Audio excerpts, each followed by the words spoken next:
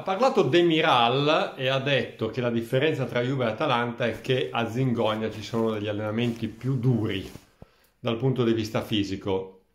Eh, lo so, nel senso che ho sempre saputo che Gasperini è una specie di tritacarne per i giocatori e li fa letteralmente sfiancare, eh, forse anche per questo che corrono così tanto. Mi viene in mente che quello che ho sentito nella prima puntata di eh, All or Nothing dedicata alla Juventus su Amazon, in cui c'è Pirlo che eh, quando gli fanno notare che i giocatori magari sono un po' stanchi durante gli allenamenti estivi, se questi dovevamo provare con Conte, arrivavamo che ci dovevamo sdraiare per terra perché eravamo completamente eh, cotti. Eh, quindi ogni allenatore naturalmente ha il suo metodo, la Juve di Conte era tutta eh, intensità, se vi ricordate, molta corsa, intensità, pressing, eh, rifletteva un po' il suo carattere, diciamo così, no? L'Atalanta di Gasperini a sua volta è intensità, pressing, squadra corta, eh, quindi può esserci anche una motivazione, anzi sicuramente c'è anche una motivazione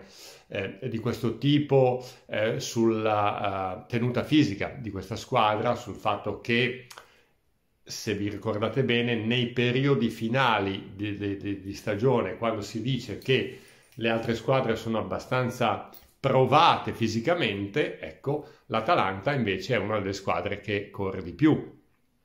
Un po' il contrario di quello che ha detto oggi eh, Sarri per la Lazio, che dice che soffrono la partita intrasettimanale. Poi sappiamo che Sarri è uno che si lamenta un po' di tutto, quindi eh,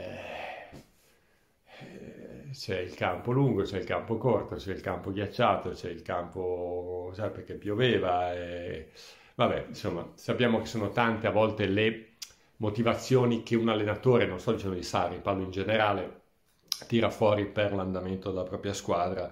Eh, credo che uno dei pochi che sostanzialmente non si sia mai lamentato di situazioni esterne, ma abbia sempre detto dobbiamo fare quello che il calendario ci dice, quello che la società ci dice, eccetera, sia Massimiliano Allegri. Ma non perché voglio magnificare Massimiliano Allegri, semplicemente prendo atto del fatto che non ha mai eh, tirato fuori una mezza polemica, ammesso che poi certe frasi arrivino a creare polemiche, perché eh, cito ancora Sarri, le, su certe cose può anche aver ragione, ma alla fine si fa eh, dire che è quello che si lamenta sempre, che non accetta mai le situazioni, che deve sempre trovare il pelo nell'uovo, eccetera, così. Vabbè. Ho divagato un po' sul tema, però insomma mi aveva offerto lo spunto appunto la, la, la frase di Demiral che ha colto questa differenza. Allora io non credo che alla Juve non si lavori, alla Juve si lavora, probabilmente si è eh, scelto un altro metodo, ma al di là di tutto questo non, non credo di vedere in campo una squadra che cala fisicamente nella seconda parte della partita o che abbia dei problemi dal punto di vista fisico di tenuta atletica di una gara, a parte che è molto presto per parlare, bisogna vedere poi in primavera quando ricominciano i doppi impegni, eccetera. Ma evidentemente ognuno ha il, ha il metodo proprio. Poi c'è chi, sta, chi, lo segue, chi sta attento, chi non sta attento. Questa storia qua di Rabiot, di, sì, di Rabiot che è stato ripreso un po' come succede a mio figlio in prima media, fa un po' ridere, effettivamente, però ve l'ho detto, insomma, succede, succede.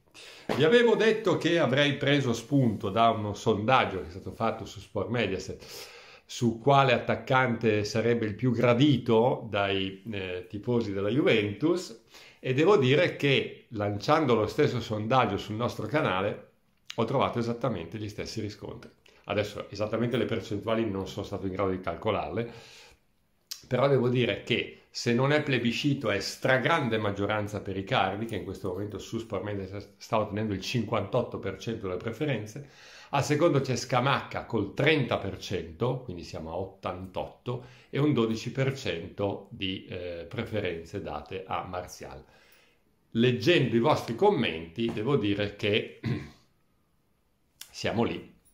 Siamo effettivamente lì perché ho letto un sacco di Icardi, Cardi, Cardi, Cardi, Cardi, Icardi tutta la vita. Poi, se si vuole programmare, occorre Scamacca, se si vuole una situazione di, di esperienza, allora Marzial eh, insomma ognuno poi ha differenziato un po'. Molti di voi, alcuni di voi, hanno risposto Icardi per sei mesi e poi Vlaovic, o comunque Icardi traghettatore e poi un altro attaccante. Non sono completamente d'accordo, al di là del fatto che comunque è un'operazione difficile portare Vlaovic anche a eh, giugno, perché io sono convinto, io resto di questa idea ragazzi, è che innanzitutto che sia Icardi l'attaccante ideale per questa squadra e credo che sia un giocatore che se ritrova accanto a sé, attorno a sé, la fiducia di un ambiente, la fiducia di una squadra, la fiducia della gente, ti dà grandi soddisfazioni. Ti dà grandi soddisfazioni. Lasciate stare tutto ciò che lo contorna perché poi è il giocatore che deve andare in campo. E non mi dite che con l'Inter, nonostante ci fosse la presenza di Vandanara, con l'Inter non faceva gol Icardi. Ne faceva come Icardi. E come se segnava. Poi è andato al Paris Saint-Germain, il Paris Saint-Germain all'inizio è andato bene, poi è chiaro, ci sono tanti campioni, tante situazioni, tante scelte da fare, è anche quasi, non dico naturale, ma è comprensibile, è comprensibile che la parabola di Icardi si sia un po' eh, curvata verso il basso, ok? Però io resto dell'idea che è un giocatore d'area, che sia una leggenda che non gioca per la squadra, è una leggenda che non gioca per la squadra, ragazzi a volte vengono date delle etichette ai giocatori per cui fa cultura il fatto che non gioca per la squadra. No, Icardi non è che sta là ad aspettare la palla, non è vero che non gioca per la squadra, esce dall'area, partecipa alla manovra. E come se esce dall'area? E comunque è un giocatore importantissimo perché fa paura. Ve lo ricordate il famoso Inter-Juve di Pjanic? Perché l'Inter ha perso quella partita? Perché ha tolto Icardi ha tolto Icardi sul 2-1, Icardi era incazzato nero, ve lo ricordate? Perché con Icardi in campo la Juve avrebbe avuto timore a scoprirsi, perché c'era lui là davanti che aveva anche segnato tra l'altro in quella partita. Ok? Quindi è un giocatore che se tu gli dai è un cobra d'area, sicuramente, ma gioca anche per la squadra. In area è micidiale, è micidiale. Ha una visione della porta che pochi hanno. Magari non è spettacolare, ma è micidiale. E in questo momento credo che sia l'attaccante di cui ha bisogno. La Juve ha bisogno, posso dirlo, del classico figlio di puttana d'area. Detto proprio usando un francesismo, visto che lui arriva dalla Francia. Arriverebbe dalla Francia. Ok? Ha bisogno di un giocatore così. Il gol, il gol, il gol, il gol. Ma sa giocare anche fuori dall'area, Icardi. Andatevelo a vedere un po'. Aumento di capitale 366 milioni e 9, quindi 367 milioni. Lo ha sottoscritto il 91% degli aventi diritto, quindi direi un'ottima eh, quota e soprattutto un'ottima, eh, un ottimo attestato di fiducia nei confronti della società Juventus, nonostante tutto quello che sta passando. Voi sapete che uno dei timori principali era che l'inchiesta in atto eh, comportasse la dismissione degli impegni assunti, e potevano farlo, era una giusta causa, degli impegni assunti dai sottoscrittori dell'aumento di capitale, bene, io direi che si è ritirato un 9%, che può anche rimanere lì, tra l'altro quella parte verrà ricollocata in borsa, adesso io non, non sono molto addentro nelle cose finanziarie, però mi sembra, mi sembra un ottimo attestato di stima e di fiducia nei confronti della società. Volevo dirvi di Mariani, il gol, il rigore con l'Inter perché salta sempre fuori. L'avete letto? Eh, sono stati fatti ascoltare i dialoghi del VAR. Mariani non si era accorto del fallo. Ok? Tutto regolare. Tutto regolare. Protocollo applicato alla perfezione. Cosa detta davanti ai giornalisti. Li sono invitati a vedere il VAR delle partite di Coppa Italia. E Rocchi ha parlato anche di questo caso.